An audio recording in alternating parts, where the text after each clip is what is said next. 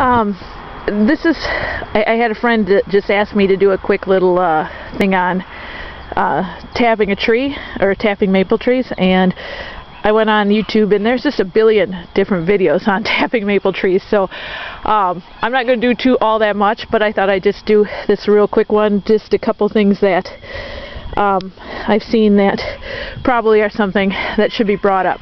Um, first thing is is that when you drill your hole and I can't do this with I have to have two hands to do it. So when you drill your hole, you want to make sure that you don't go in. I mean, two and a half inches is all the further you need to go in. Uh, do not, you see some of these guys and they're drilling in and they're getting six inches into the tree. Don't need to go that far. Don't put that much work into it. You're making a lot more difficult than it has to be.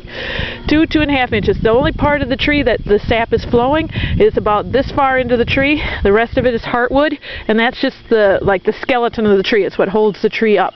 Uh, so all of your sap is flowing through the outer part of the tree. Don't need to work so hard. Just stick them in there. Second thing is, is uh, see all these guys with maple buckets, and I, this is something that's been told to me a couple times, is, oh, I'd, get, I'd tap trees, but it's so expensive.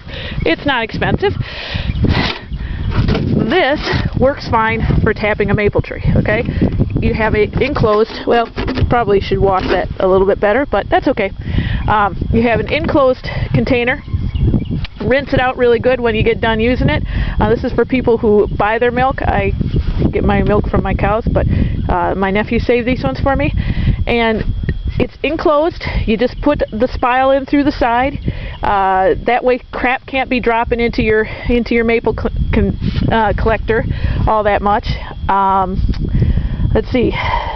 This here, this this spile is free. It's a sumac spile. You can get you can use um, well heck you can use box elder if you get small enough branch but um, anything that's pithy the the two that we use mostly around here are elderberry and sumac uh, so the inside of the tree is or the inside side of smaller branches are a little softer so they're really easy to carve out. You just take a clothes hanger and ram it up through there and you get a you get a hollow tube. And then you just drill your hole and you can use you don't need to have a bit and brace. That really looks really cool. But if you have one, great.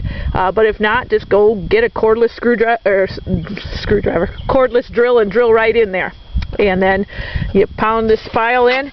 You might have to bring a knife out with you because you might have to sharpen the end, end a little bit. Though this one looks like it fits in pretty good. This is this one isn't perfect. You probably you kind of want them so they they go down a little bit, but this tree is leaning, so it's not going to go down, and it's going to be fine. You're going to get anything. Let's see. The other thing is you can tap pretty much anything in the maple family. Somebody asked me about Japanese maple, never even heard of it, so I have no idea. You'd have to look that up. But this is box elder, um, sugar maple, silver maple, soft maples, pretty much anything that you know comes in the maple family.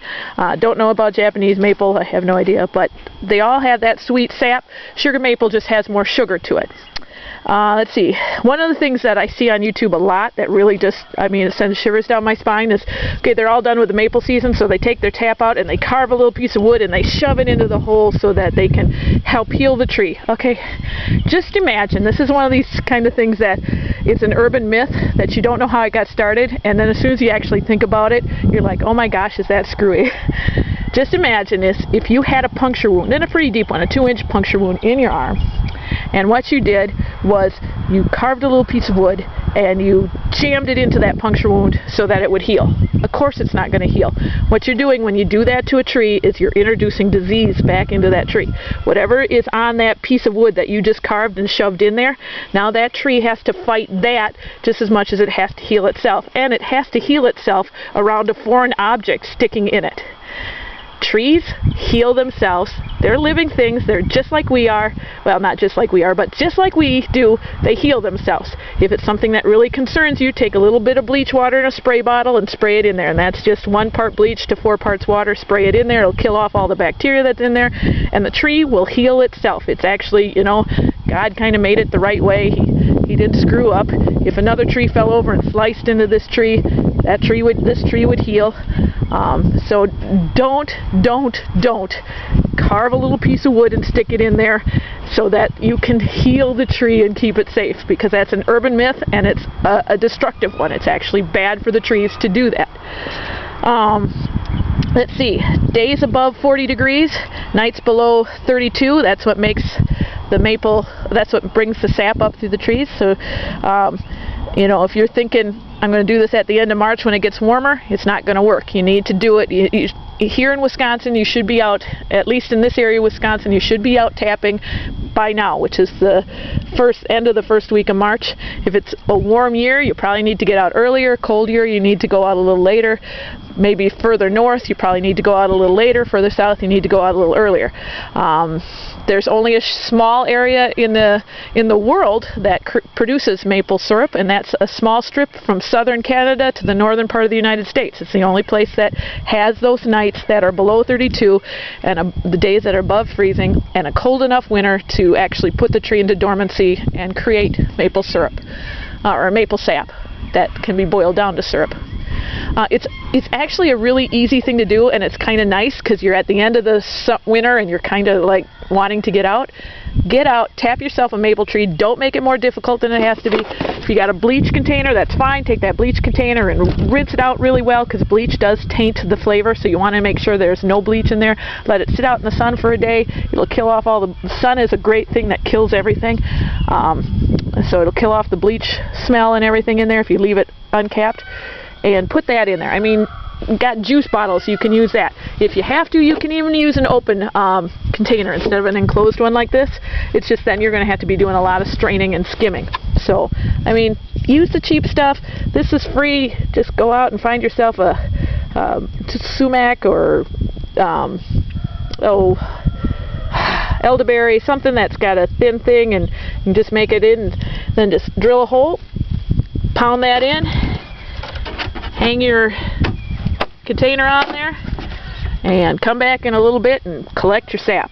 And just keep doing that until the days until the nights don't get below freezing.